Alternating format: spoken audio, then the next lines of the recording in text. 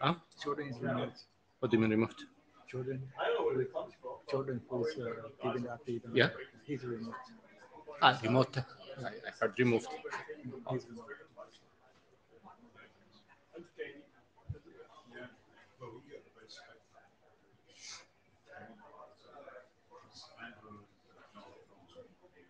Yeah, so John pushed to do IANA, IANA, I talked to them. It's. They just want something like yeah, Python script that was schema that generates the whole thing. So there's no issue. So Jordan kind of talks, uh, is taking, uh, polishing up the, the last uh, editorial stuff mostly and the stuff that uh, Andrews guy came with. Uh, the one of the comments like cannot. So a distributed system. What you want is a product. Don't have it. So no, no will. Yep, good. And then, um, yeah, oh, God. Well, I guess I don't hear you, man.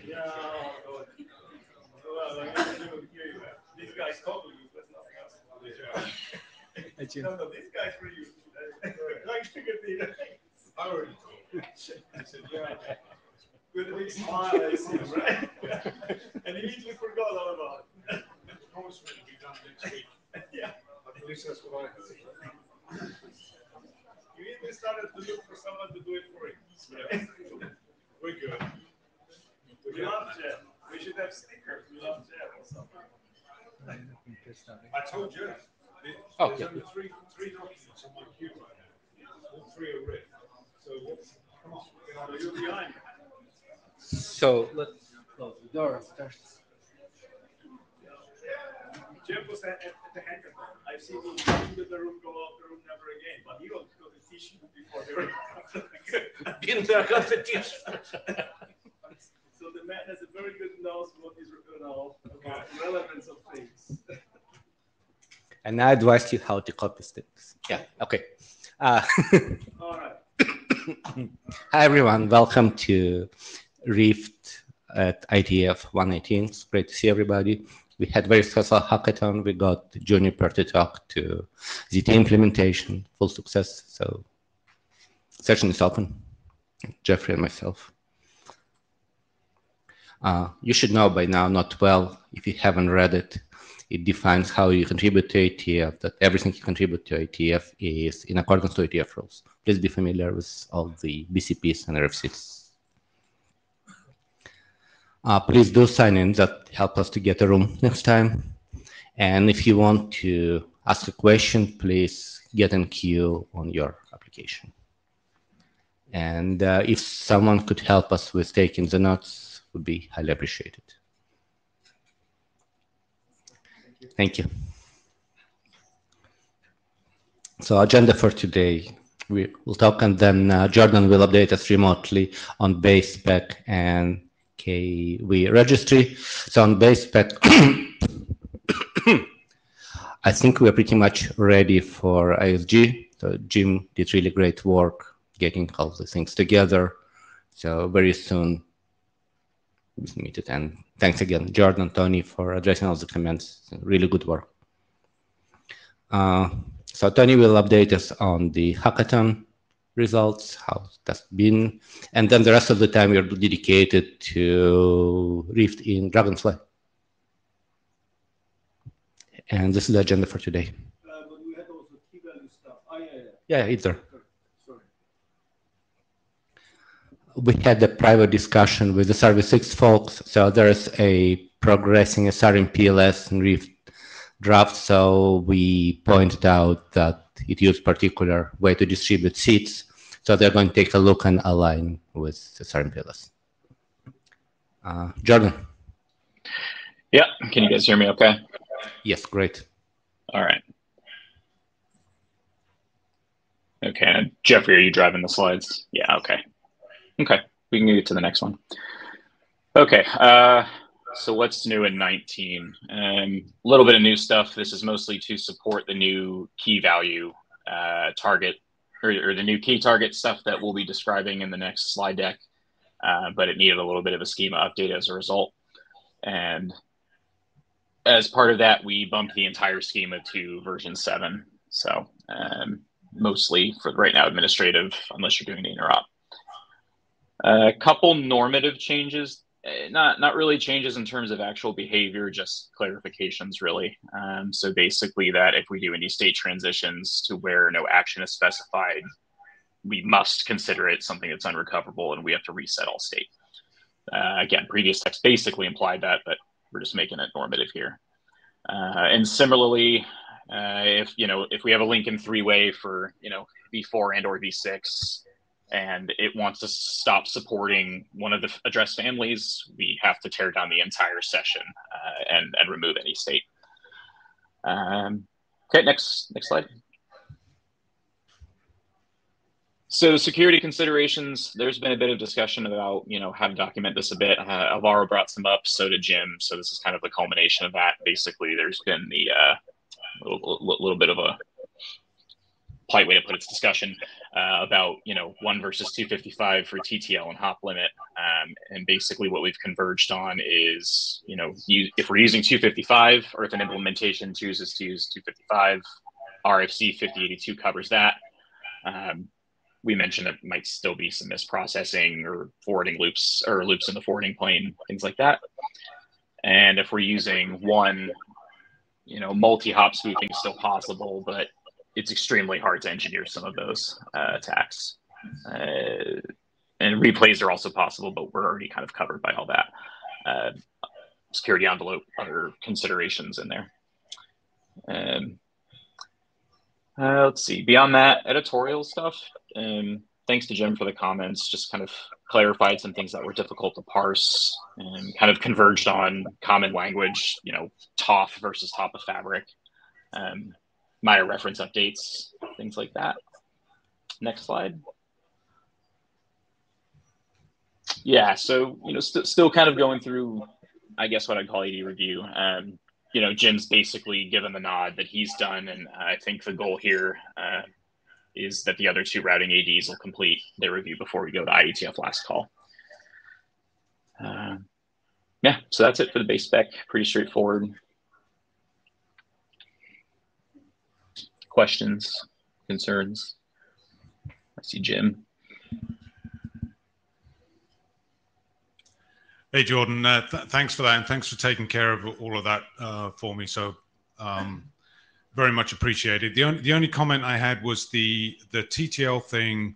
Um, you're going to put some text in the applicability document on that, right? Is that something that you're doing? Because I kind of want to try and get that moved at the same time. Um, so if we can kill two birds with one stone, that would be great.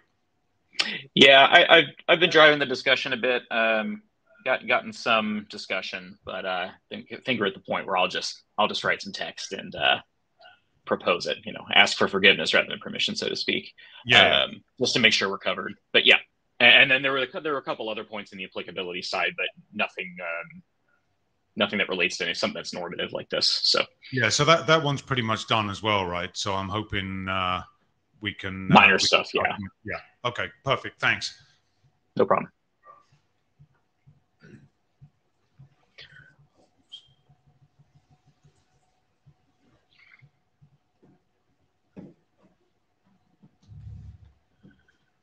Okay. Uh, KV registry gets a little bit, gets, gets some interesting work here. So next slide. Okay, so uh, as Jeff mentioned, there was some discussion in San Francisco about you know how to distribute uh, targeted information to nodes or sets of nodes, uh, you know, with, with KV ties, and you know, basically we've been kind of at the mercy of you know southbound flooding, and you know, get too many leaves, it becomes too problematic. So, uh, came up with the concept of key targets, where basically we can optionally identify groups of, uh, of nodes that are intended to receive a specific KV tie. So we basically do this by using, you know, a 64-bit Bloom filter, um, and we've also defined a hashing algorithm for deriving the key target values in the draft as well. Um, it's completely optional, fully backwards compatible. Um, you know, whether an impl- implementation supports it or not, or someone wants to turn it on, it's you know uh, default is to flood KVs as as it you know is uh, you know effectively today. Uh, next slide. Okay, so how do they work? Uh, basically, you know, like I said, Bloom filters, but we have two values that we hold. So all zeros is flood to everything, and all ones is flood to all leaf nodes. Um, you know, any of the other values, you know, kind of a subset of the fabric will be derived using that normative hashing algorithm. Uh, it really only makes sense to process these on, on South KV ties. Um, you know, the northbound LSDB still needs to maintain a full view of everything southbound. Um, so basically, you, you, know, key target must not right be present on northbound KV ties at all. Uh, and you know, any any southbound reorigination, you know, as we go through the levels, uh, you know, the key target must be preserved as well. Um, okay, next slide. Okay, so this kind of brings in, you know, at least one interesting problem that we've seen, uh, basically with purging and rollover, right? So there are, you know, several scenarios where, you know, a a node might select a new KV tie, you know, whether it's the sequence number incrementing, uh, you know, change in the original tie breaking result, or if we lost the adjacency to the northbound neighbor that was holding the, the previously selected KV time. So makes for pretty interesting considerations when nodes are no longer included in the given key target or, or, or group of nodes. Um, you know, leaf nodes come to mind here. They can, if you've got ZTP running, they can not be leaves anymore if you miscable something or um, something of that nature. Next slide. So basically, you know, consider this case where you have, you know, key target one and it covers nodes one, two, and three. Uh, and they all want, you know, KV tie one in their LSDB. If node two stops being a part of key target one, uh, if and we need to update that KV tie to a new instance, uh, node two will be stuck with that older instance until the lifetime expires, which can be a very long time. And if you have lots of KV ties and lots of nodes, that's well, it's suboptimal to say the least. Um, next slide. Uh, so, so basically, you know, we say, you know, I'll, I'll, let you read the text, but effectively, we have to, you know, maintain groups. Uh, we basically will say that, you know, we need to flood an instance of the new KV tie to the uh, to the old key target so that it can, you know, appro- with, with, a short lifetime, so it can appropriately, you know, purge state. Um, that's that will ultimately be implementation specific. It's up to you how to do it, but you know, that's that's how we're looking at doing this. Um, yeah, next slide. I think that's it. No, no. Okay. So yeah, what's next? Um, any comments or questions related to key targets? Obviously, welcome. Um, beyond that, kind of housekeeping, right? Uh, IANA has mentioned to me, uh, basically, we need to, be a little bit more explicit in terms of how we, um, you know, define register values as, you know, available or not. Um, it's, you know, easy stuff. Uh, and then, you know, the, everything below that line is copy paste from last time. We're basically waiting on the Rift spec. So once uh, once ADs get through the rest of this, we get to IETF last call, then the, the KV registry doc should go qu through quite quickly. Uh, that's it. Any any questions? Um,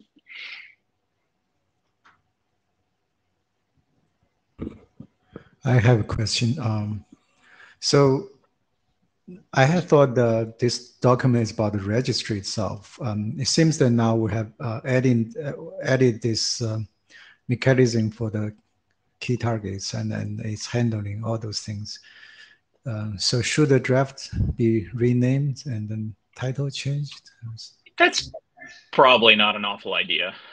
Um, I think Tony's going to mention it, but we, have had other mechanisms described there as well, besides key targets like the southbound tie breaking and so forth. But go ahead, Tony. Uh, well, the only thing that is the change in the Rift document is that.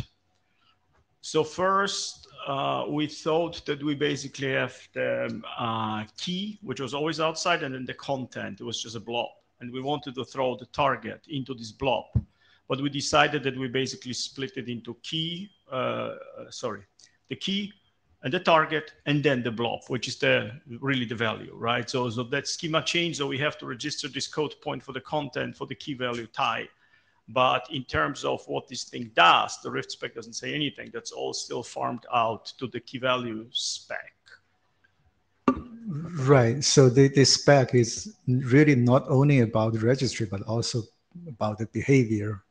Right. The, so the, that's Ri- the Rift spec? uh, no that, that that's KV uh, KV registry spec. This particular document that we uh, were talking about, KV registry. Right. document. So it also specified the behavior of this field. So since we defined the tie breaking of the uh, of the key value store on the Rift spec, you could argue that we should put the target text also into the Rift spec. No, no, that's what I'm. That's not. yeah. So, so your point is? My point is that this document, uh, KV registry documents, is not only about. Ah, yeah, yeah, registry no, no. It, it defines also the target behavior. Yes. Right. So I think that the document should be renamed and, and just to be. Fair enough. Yes. Yeah, I'll, I'll take that for next time, Jeffrey. That's fine. Mm, Since it's just a title change, it's not a big deal. uh, Sunny Zhang ZTE. Uh, I'd like to ask, uh, in some scenarios, may I understand the key target is the routing target in MPBGP? If it can be used like this? No? Yes, no, maybe. so, so, so I explain quickly. So Tony P again, Juniper. So people are probably confused because I'm not sure everybody knows how a Bloom filter works. So the idea is fairly simple. You take something fairly big and then you generate multiple hash functions of something. And you get, let's say, three hash function, three bits, and you flip those three bits on. And that way you can put 100,000 targets into 64 bit. Okay. Of course, you will get false positives, but you don't get false negatives. So you may address more people than you intend, but you have a very small filter. All right. Whereas the route target in BGP is like you have by policy, you have a perfect match. Here, don't have a perfect match. You have something which statistically works uh, uh, actually incredibly well, right? But it delivers false positives, and you have to deal with that. It's a well-known thing. Read the research papers, blah blah blah. Often used technique, but the equivalence of the route target breaks down here because it's not the perfect match, right?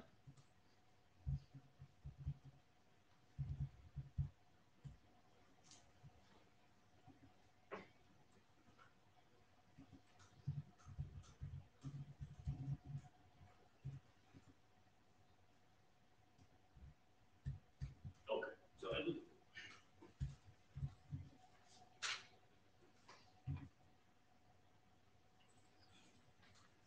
Let me flip glasses so I can look, look you in the eyes.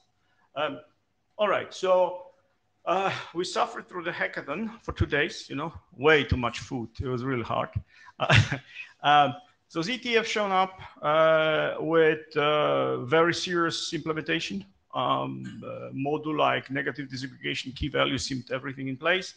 Uh, Bruno's code is, of course, you know, being pulled up, and Juniper was there. And Csaba has some stuff. He promised that he will give us something next month. So he had some Leaf implementation that he already tested, but then he was in the beer interop. So guess what? You know, he didn't have time for uh, to show up and participate in both.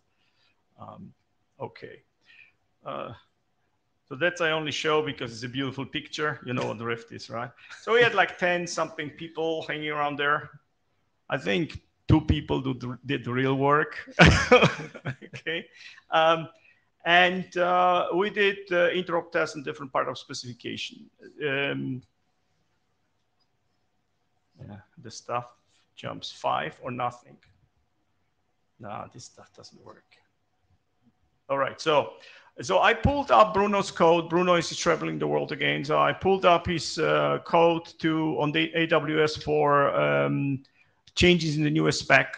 Basically, you know, the usual just compile the Thrift schema, throw it in there, and add one or two fields, uh, and run it against our stuff, and that passed all fine, no surprises. Um, and then uh, we threw together stuff with uh, ZTE because ZTE doesn't have a virtual version yet. Uh, so there was some, you know, physical remote boxes and so on and so on. Uh, our stuff was thrown on a Docker container, and there were uh, basically it was just one interesting discussion. Um, when you have one part, one side of the adjacency configured v4, v6, and the other one only v6, right? Uh, the there was a misunderstanding that because the V4 doesn't show up, you don't bring up adjacency. But in fact, the FSMs and the spec is precise enough. Um, so, you know, the, the V4 will start stay in one way and the V6 will build up a three way. So that, uh, that was one output where I discussed through. Then uh, uh, we added some internal prefix announcements to ZTE, and uh, we were seeing the disaggregation. Yeah, the full flooding was going on, so the full exchange was working. That was all fine. And we were limited because um, normally we run our images on Kathara, which is this thing over the top of the Docker doing some magic. And that was a naked Docker config. Some Linux version have this very ugly bug um, where you open a multicast socket register for multicast address, and if the same multicast destination comes towards you from two different interfaces, they will deliver only one copy from one interface. It's it's it's a known bug, but it was pretty much unfixable. So we were basically running Juniper always on one interface against ZTE. And then we discussed a lot of this Dragonfly stuff. That was interesting because that clarified that my Dragonfly draft, which was slapped together very quickly, was not that clear as I thought. And like I said, Csaba was um, busy with beer, so he did nothing. He said promised something maybe in a month or two to publish something to the list. So the bad things was the hackathon ran out of t-shirts because you know grafters like Jeff were there before the real people showed up. The food was good too much. The Rift spec held up, so we had basically no changes on the spec. And the testing on hardware box is damn tedious, but everybody knows that. So that's kind of what came out of it. Questions, observations, Rotten Tomatoes? No, nothing.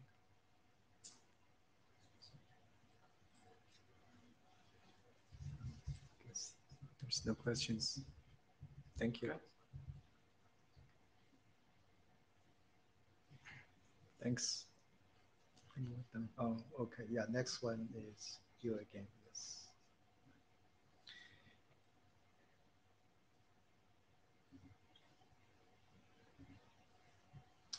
Now, okay, so, so this one will be entertaining. It's probably what you came for. Uh, um, so you've seen the Dima's presentation about this BGP thingy and a million VPNs and, you know, whatever unnatural thing, which is kind of natural thing for BGP has to be done.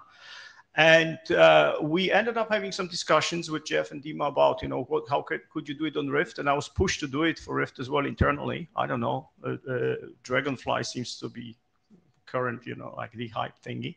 Um, so I went and thought the stuff through, and those gentlemen did no work, so it's basically all my stuff. But some key ideas are Dima's actually in the whole thing to make it work. Fine. So it starts basically with the fact that if I started to look at precise research on sparse dragonfly, nobody defined what the hell is a sparse dragonfly. So I had to think through what is actually a sparse dragonfly. Um, so now imagine that you have, so originally Dragonfly was basically full meshes hooked up to a central full mesh, okay? And the central full mesh is just too full, so you start to thin it out. That's why it's called kind of sparse Dragonfly, right? And this Dragonfly Plus seems that instead of running full meshes as wings, you run Clos networks. All good.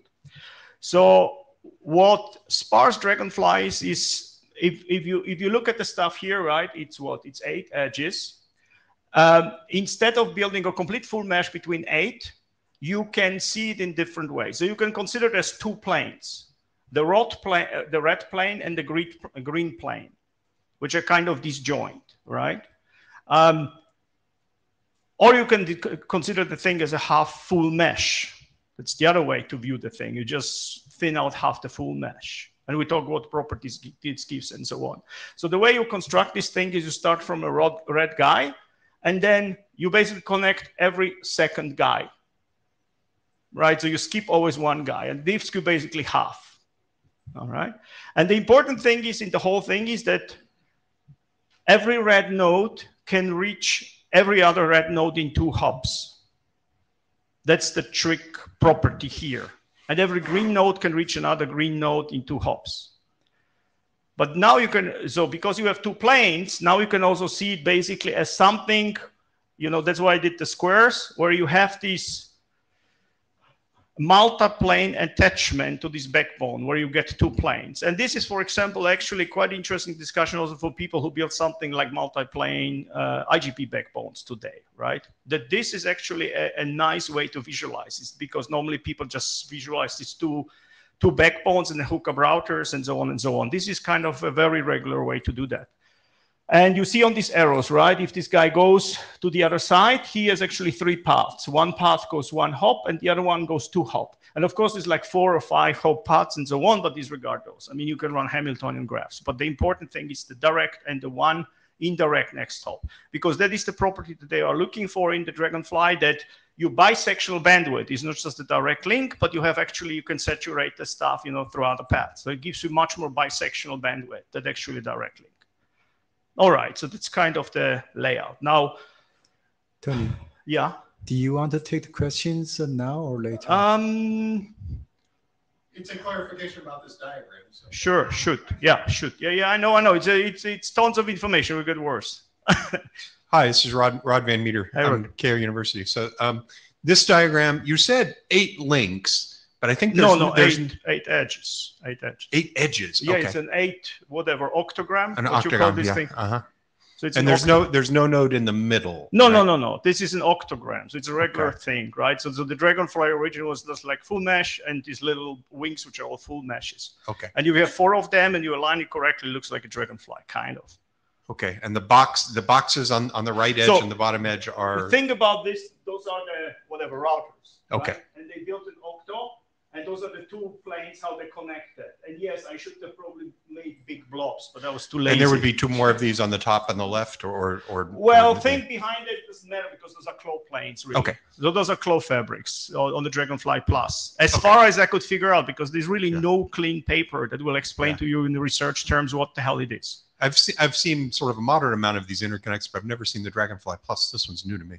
Okay. Yeah. So, so that was as much as I could reconstruct from all kind of ideas flying around. Yeah. Okay, it's Linda. Um, so I'm a little confused by this picture too. Um, so you're saying the red nodes, um, There are no red nodes. It's just a red plane. red plane. Yeah, you can talk. so those would be the red nodes. Those four guys. But but you have a box connecting the green and So, the red. Does that mean it's just one it will be an important concept, right? So you can see it in different ways. You can see it as two completely disconnected planes, okay? Mhm. You can see it as half a full mesh, or you can see it as two planes that you can somehow connect together, right? You keep those links. Okay, so I see the red plane is only one hop away from each node. Why do you say there's two No, hops? think about these are two nodes. No, there's a middle one. The, the red one goes through there too. Isn't that one hop? Uh, there is no node here. No, no, no.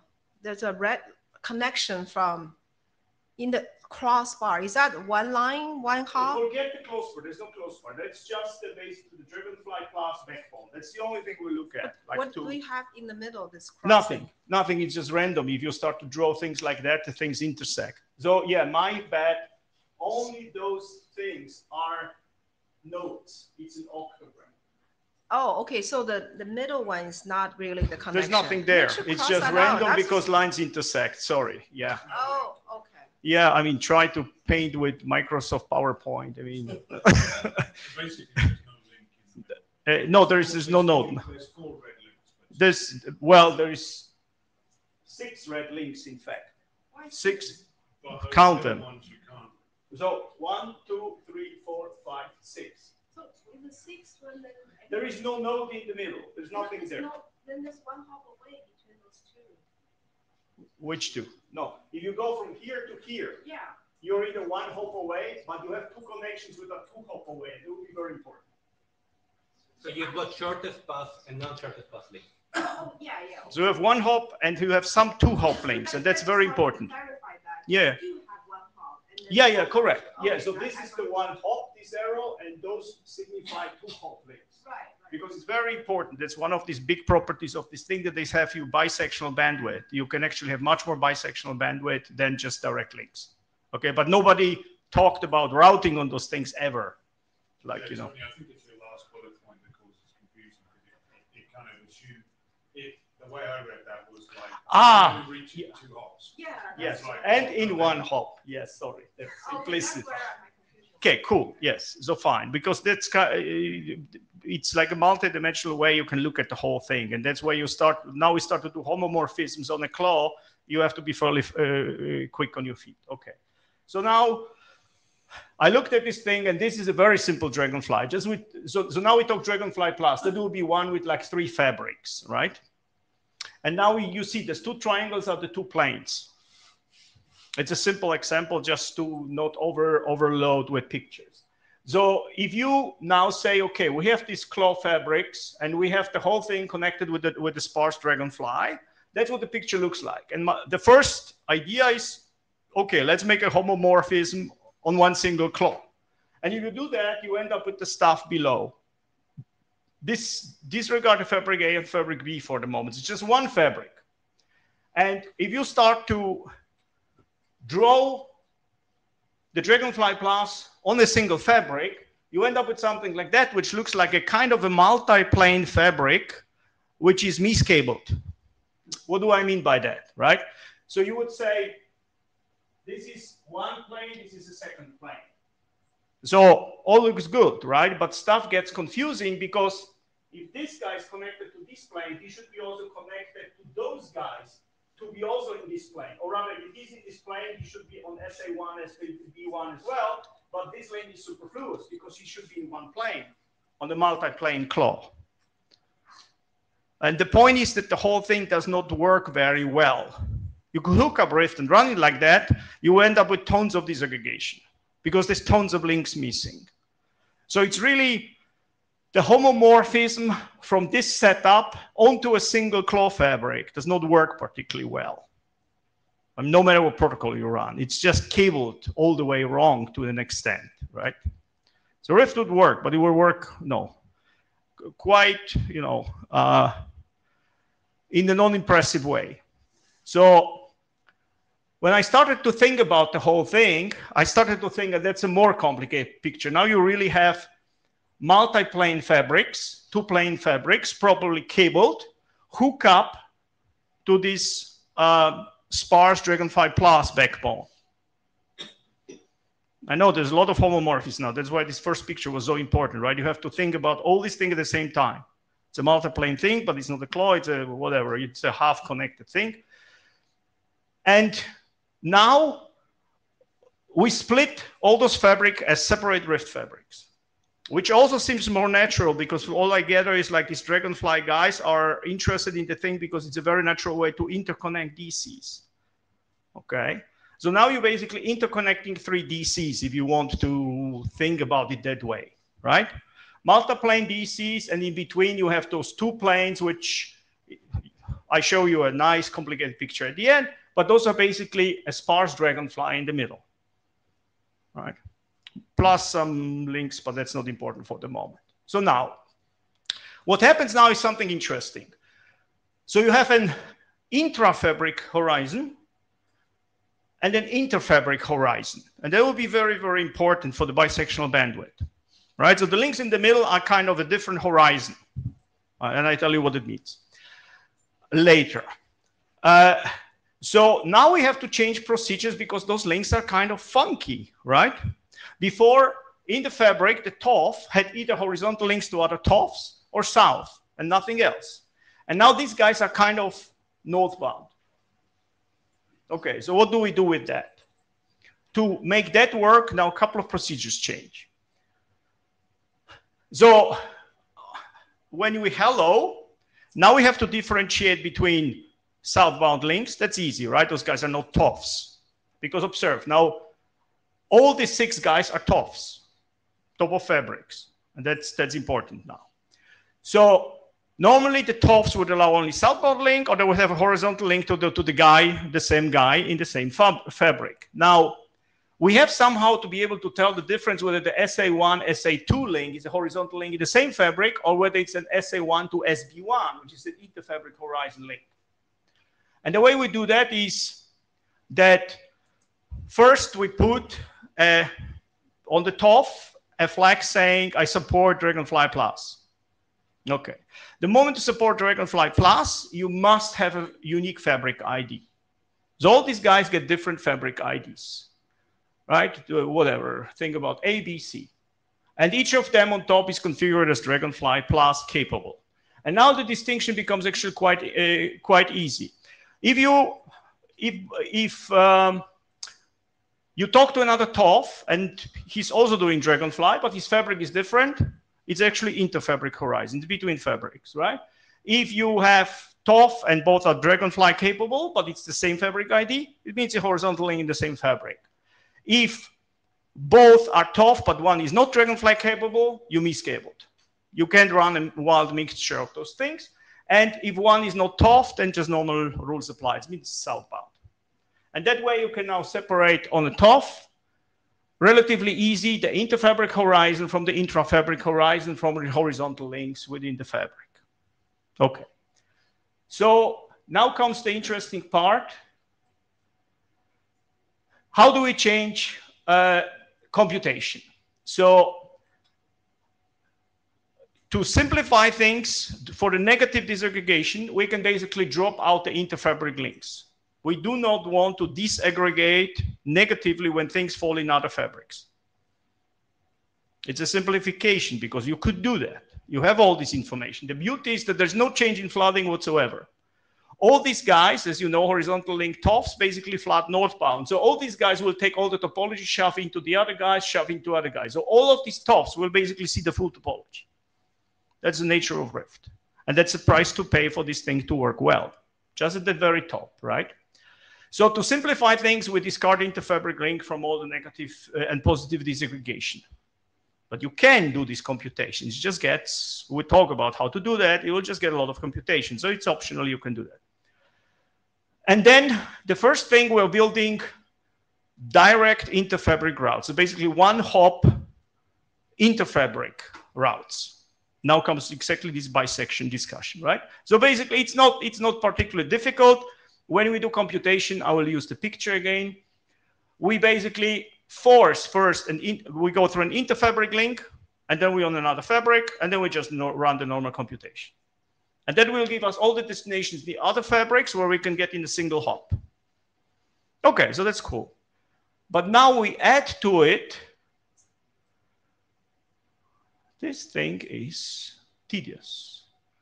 Um, indirect interfabric routes. And think that that's the fabrics you can reach in two hops. And you modify the computation by basically taking two interfabric links away, and then from there start to compute. It's important you differentiate between those two. That's kind of Dima's big insight that helped me, right? So you have this, I can get to the other fabric one hop away, I can get two hops away. But now comes the interesting thing with the forwarding. If you forward along the one hop, well, this stuff will not loop because the fabric will grab it and just forward it forward. But now think what will happen if you just start to forward along the two hops. You throw it to another fabric, he says, that's not my destination. He can throw it back to you because you look like a two hop away. So to uh, visualize that, right? Now, SA1 has the brilliant idea to, to go to SC1. He can use bisectional two hops, so he goes to SB1. So SB1 sees on the IP packet SC1 destination. It goes like, I'm playing the bisectional game too. And by the way, SA1 is the bisection to SC1. And you just build the loop. Right? So here comes the big trick. When the packet arrives from the fabric sided interface from south, uh, you can use both the one hop and the two hop route because you're good. But if the packet arrives from the interfabric horizon, that's where this concept of this horizon is important, you can only use the direct. All right, so to, to give you the example. So LA11 pushes a fabric towards fabric C. It arrives at SA1. It sees that it came from an interface which is southbound. Okay? And says, okay, I can use the fib that has one and two hops. And he throws it at SB1. The SB1 sees that it's coming from the interfabric horizon. And at this point in time, he can only use the direct fib. So it goes to SC1. And now I flip back and it, this picture starts to make sense. Now you understand while everything has, there must be a one hop route and a two hop routes. Okay. And that way you get the bisectional bandwidth, which includes the single hop and dual hop. Okay, by, by running the horizon. And it's actually nothing special. Basically, all the silicon supports it because that's exactly how VPN works, right? You have to understand from of based on the incoming interface which FIB to use.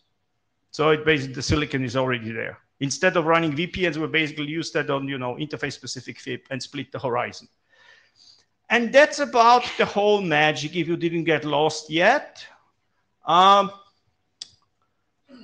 uh, so the interesting observation is, of course, that now for multiplane to work well, we were always talking that the TOFs right here, two planes, each the the the uh, the Clos has to be ringed at top, right?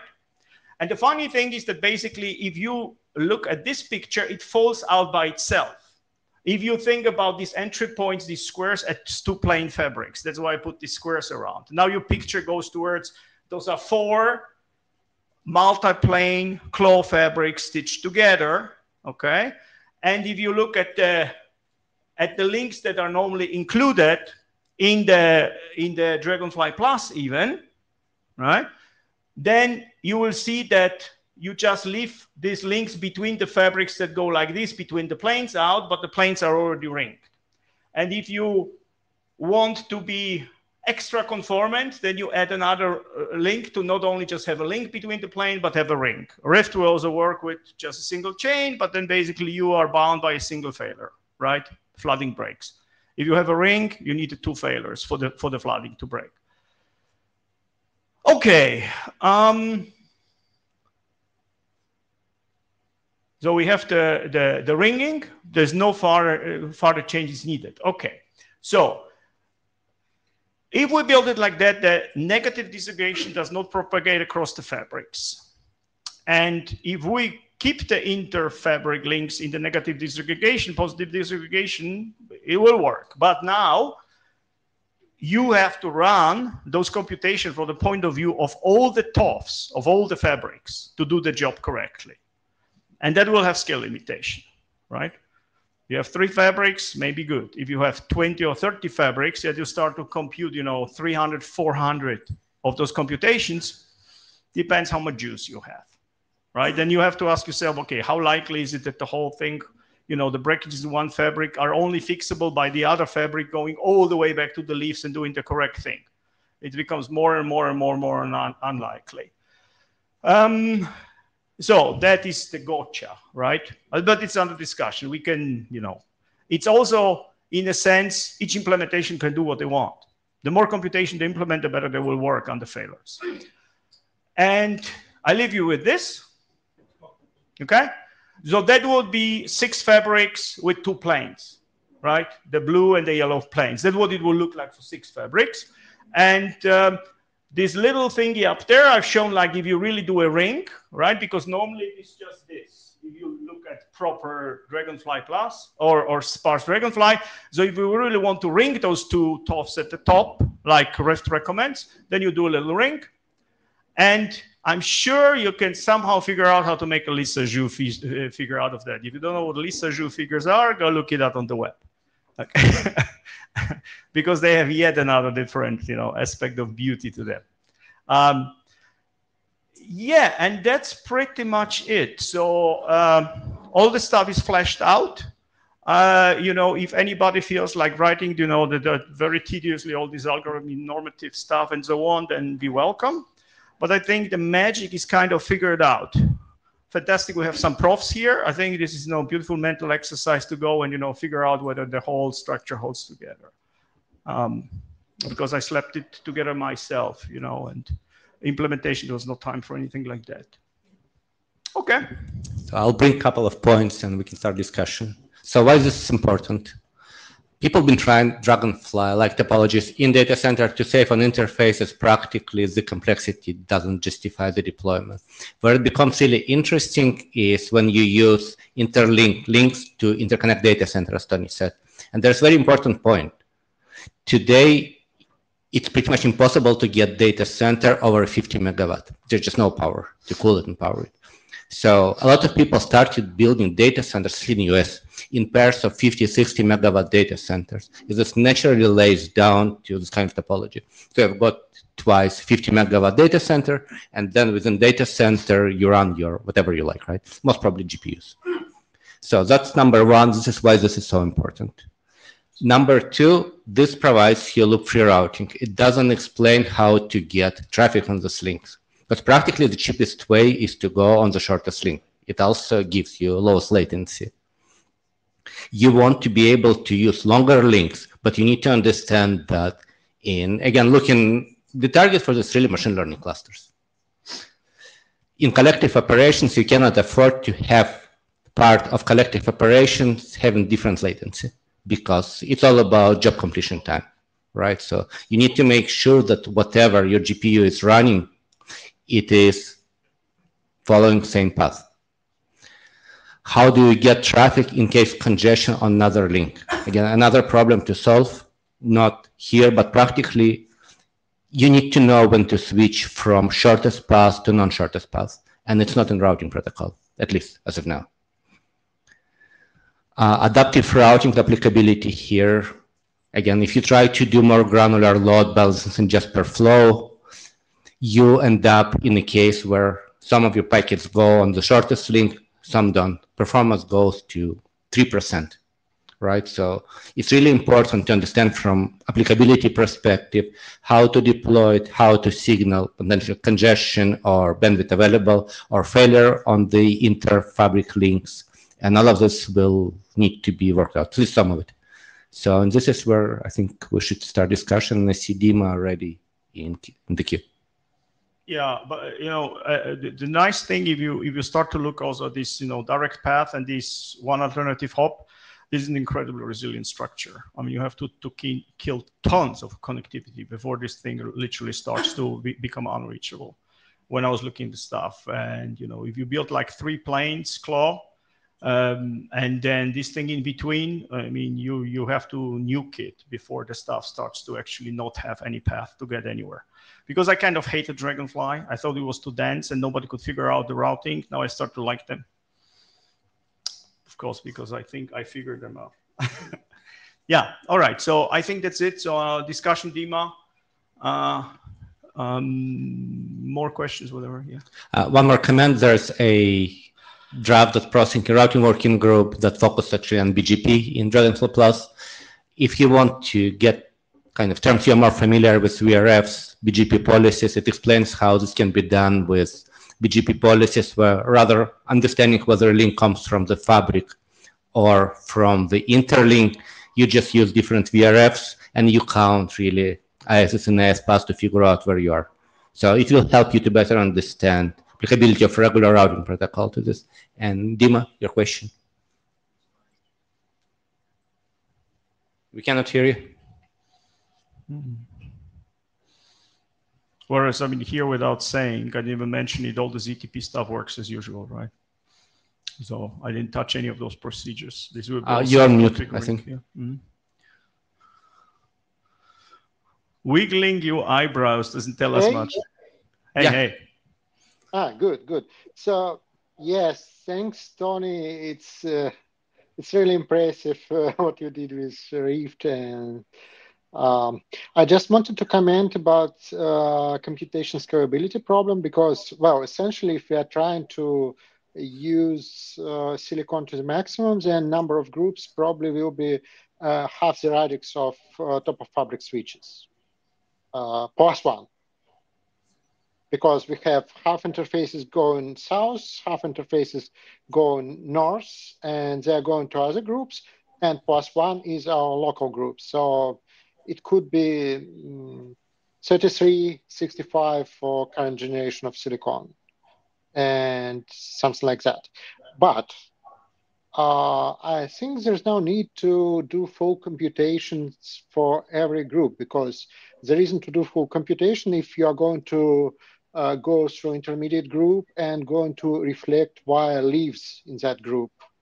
No, uh, no, the only reason to do the full computations I mentioned is if you really want the negative disaggregation, positive disaggregation, tackle the, the, the cases where you have to start in the fabric on the direct plane because you can only get on this plane to the other fabric to the leaf.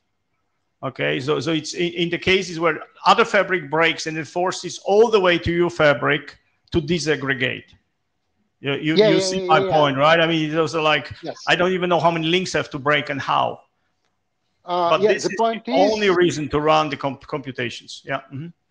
yeah, point is that probably it's possible to do less computations than like full commutation for every member fabric.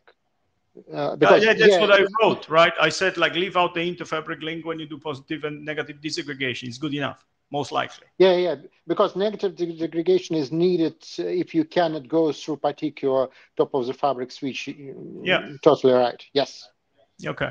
Mhm. And uh, yeah, I wanted to like second what Jeff said that uh, there is this uh, like power scalability problem for how much you can get for one particular data center, but topo- this topology looks like a good fit for data center campuses or any agglomeration of data centers which are not too far from each other. And you want to have more or less uniform connectivity and a lot of bandwidth between them because it's it scales better than trying to add uh, yet another level to to the Clos. Right. So if anybody feels like a little bit of mental exercises, especially the profs here, now imagine you run this thing on an optical ring, counter rotating. What will happen if the ring get cut in one place? What will what will this topology look like, and what will happen? Because this next layer of, pro- of problem in Metro, right? Because you run this whole thing on lambdas over a ring. Yeah. So that's it from me. Thanks. Um, well, next question. Hi, I'm Daniel from FiberHome. I'm, I'm not, uh, I have not any comment, just a minor suggestion.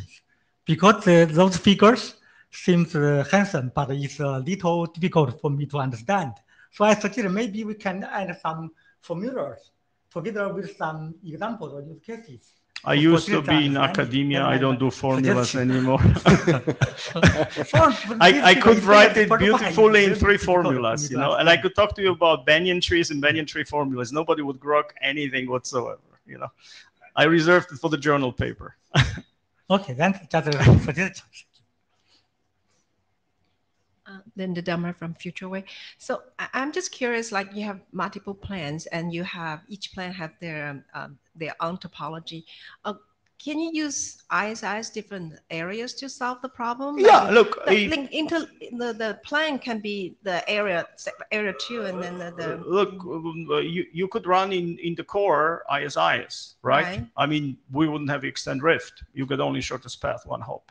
So you don't get bisectional bandwidth with ISIS, unless you hack ISIS to the point there's not ISIS anymore. So But you can use some kind of policy on the side so that you can balance. ISIS the- doesn't have policies. That's why we use BGP? BGP How about with use BGP then?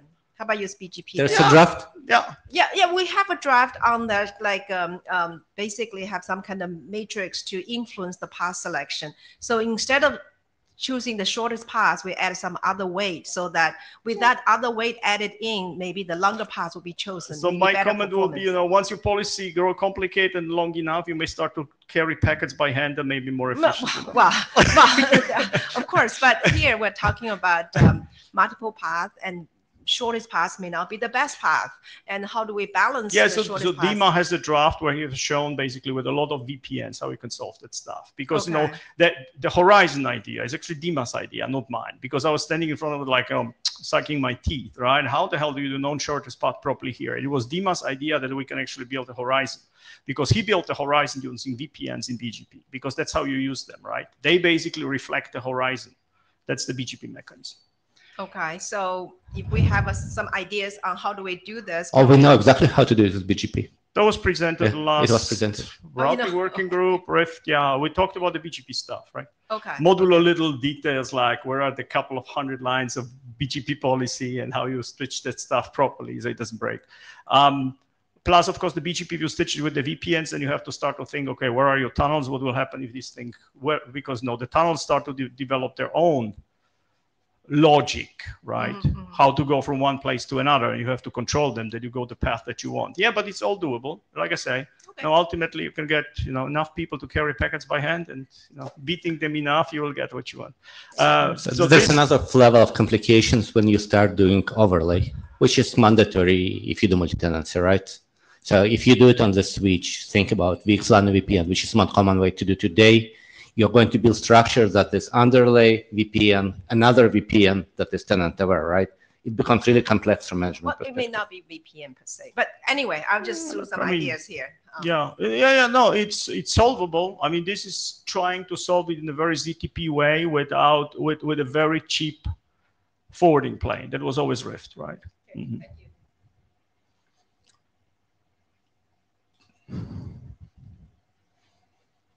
Any questions, tomatoes?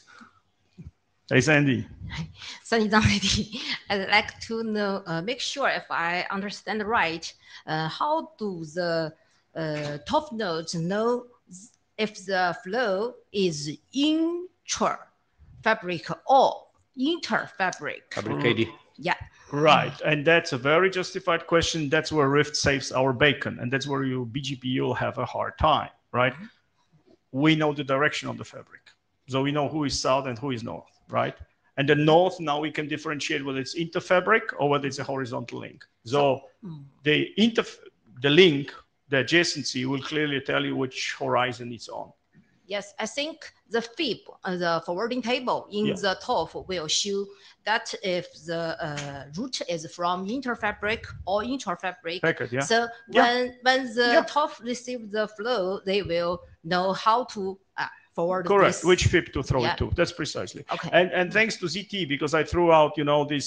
th- That's what we spend a lot of time at hackathon, right? To start to ask questions because I only draw a very simple, like you know, a three thingy and a four thingy, and they go like, yeah, well, I want to wear five, and I wasn't sure, so I had to draw the figure actually, you know, to figure out this presentation. Um, because I oversimplified. With three, everything works, right? It's kind of trivial.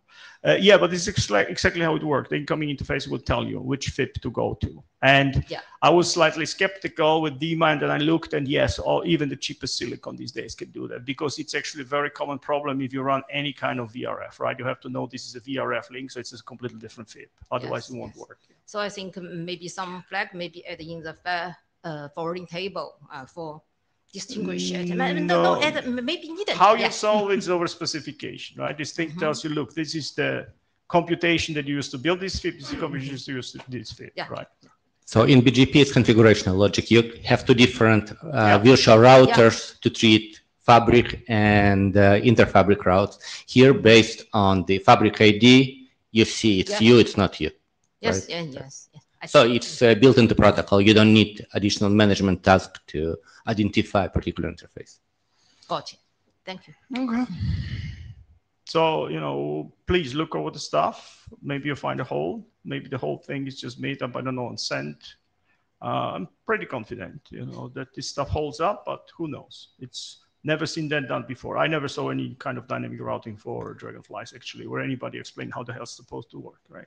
All this fancy stuff like dragonfly or hypercubes or um, or toroidal meshes were used in supercomputers where links never fail, right? So it's like simple dynamic routing is overvalued. And this is, you know, first time I see something cooked up, except Dima's stuff, which is basically, you know, stitching BGP magic just so. So it's not really a routing. It's like, yeah, yeah, arm handling packets the right way by, you know, a lot of, you know, policy magic, which is fine. A lot of people seems to consider the pretty good job security these days.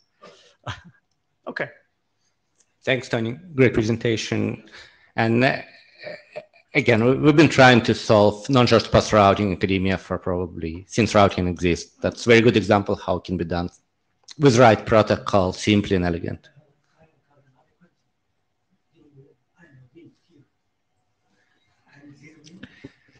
So, and uh, we are exactly on time. So just 30 minutes from now, we are going to have a AI and DC side meeting, which is going to talk about in more details workloads, this kind of topologies dedicated to so really machine learning application. Uh, we kind of figure out how to record it, hopefully. Somewhere in the cloud, yes. Thanks, everyone, and uh, we'll see you in Australia. Great stuff. Tony's too freaking smart. We should beat them up at some point in life, right? I feel stupid every time I leave. I'm like, It's intentional, and it's not just you.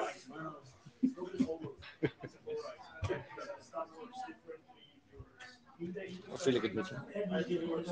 It was really good meeting. It was really good meeting. Yes.